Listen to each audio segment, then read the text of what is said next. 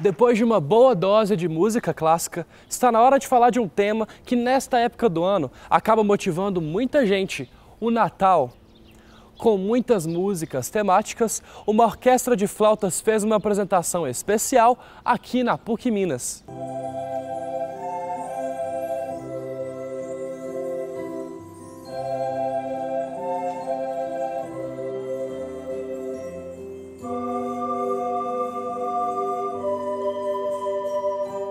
É fim de ano e muita gente já se prepara para as datas festivas do mês de dezembro. Com a PUC Minas não foi diferente. A Orquestra de Flauta Sonoro Despertar fez uma apresentação especial de Natal aqui no Museu de Ciências Naturais da Universidade. Quem está aqui para nos contar um pouco mais sobre esta apresentação é a maestrina do grupo Celeste Alda. Celeste, o que é a Sonoro Despertar? Como que funciona esse grupo sociocultural? Sonoro Despertar é um projeto sociocultural, como você mesmo disse, de educação integral de crianças e adolescentes, porém o veículo dessa educação é a música. Surgiu no ano 2000 na paróquia São Marcos, idealizada pelo padre Jesus Gergela Fraia, que é um padre escolápio e que tem a questão da educação e da fé que caminham de mãos dadas, né? E acredita de uma forma é, com muita firmeza que a educação é o veículo, o melhor veículo de transformação do mundo né, transformação da vida da pessoa, da vida desses, desses crianças e adolescentes. Então, surgiu o Sonoro Despertar com esse intuito, né? É, educação integral desses meninos, mas através da música.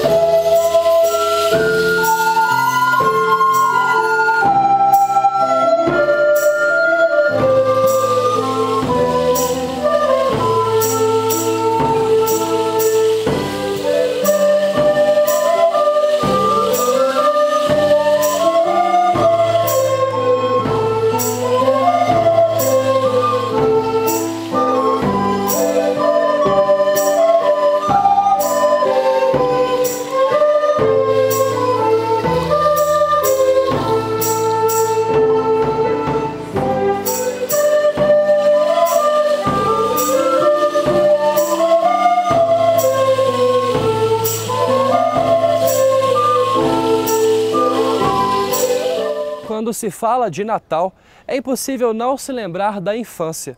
Para marcar esse tempo de criança, o grupo trouxe uma apresentação direto do sítio do Pica-Pau Amarelo com a música de Gilberto Gil.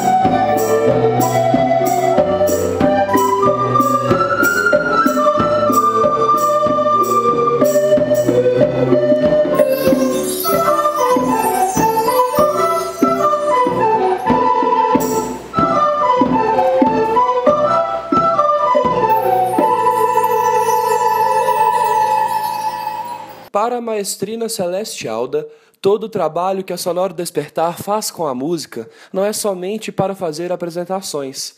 Para ela, existem mensagens e lições que ficam por trás de todo o processo de aprendizado. A gente cria um alto de Natal. Então, todas as músicas são para ir criando uma história e contando desde a Anunciação de Maria, quando o anjo chega, e eles vão tocando enquanto isso os personagens vão entrando em cena. Então, na verdade, é o sonoro despertar através da música e das flautas, dando vida, recriando esse ambiente natalino. Com isso também, eles, é claro, conhecem a história de Cristo e como é importante viver o amor, a, a, a igualdade, o respeito, valorizar o outro. As músicas natalinas vêm dentro desse contexto, recriar o Natal, mas de uma forma humanizadora, assim como Cristo veio ao nosso meio para mostrar a face humana de Deus, que nos ama e que está próximo da gente.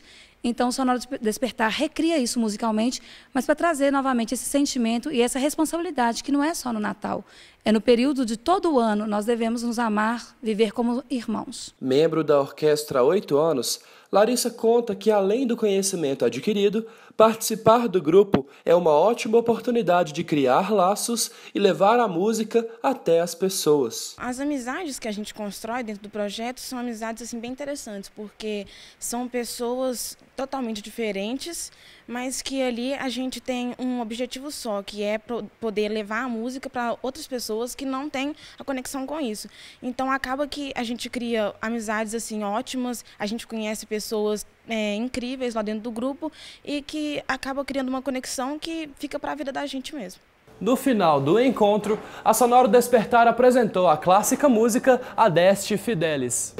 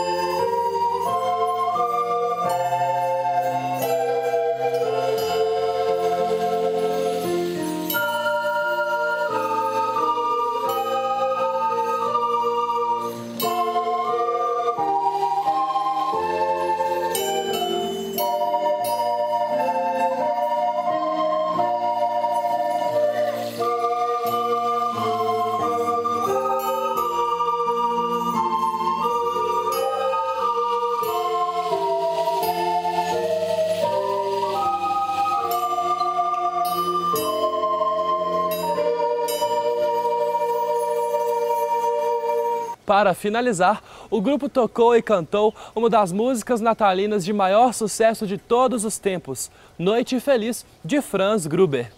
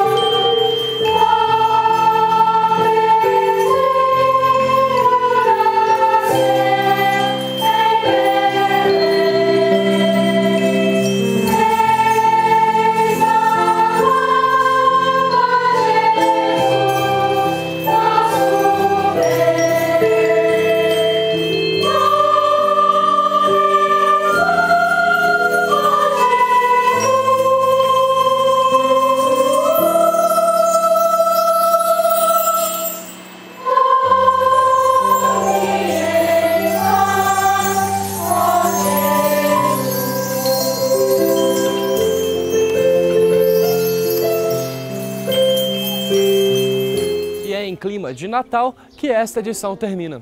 Gostou do programa de hoje? Então não deixe de participar. Eu espero seu contato pelas nossas redes sociais. Obrigado pela companhia. A gente se vê no próximo programa. Um Feliz Natal e um próspero Ano Novo. Até mais!